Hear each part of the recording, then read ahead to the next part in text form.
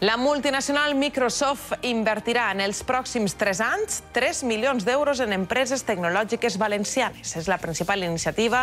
fruit del conveni de col·laboració que avui han firmat l'alcaldessa de València i la presidenta de Microsoft a Espanya. Estos diners es destinaran a finançar 300 emprenedors. A més, s'habilitarà una línia de finançament per a pimes i un programa amb 5.000 beques de formació en tecnologies de la informació per a desempleats.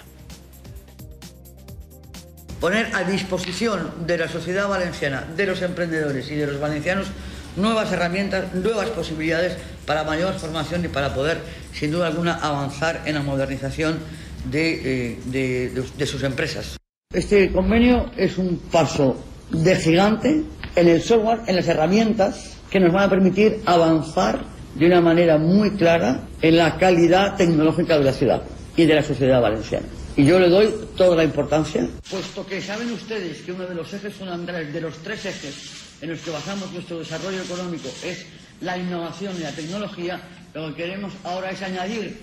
de una manera muy notable una gran pata de tecnología, de modernización tecnológica a través de Microsoft a todas esas políticas, a todas estas acciones de modernización que llevamos adelante en nuestra ciudad. Impulsar la ciudad, hacer promoción empresarial, favoreciendo la creación y el crecimiento de empresas a través de impulsar la innovación y promoviendo la colaboración público-privada. Este es uno de los grandes objetivos, cómo hacer de Valencia, con el grupo de referencia mundial, que es Microsoft,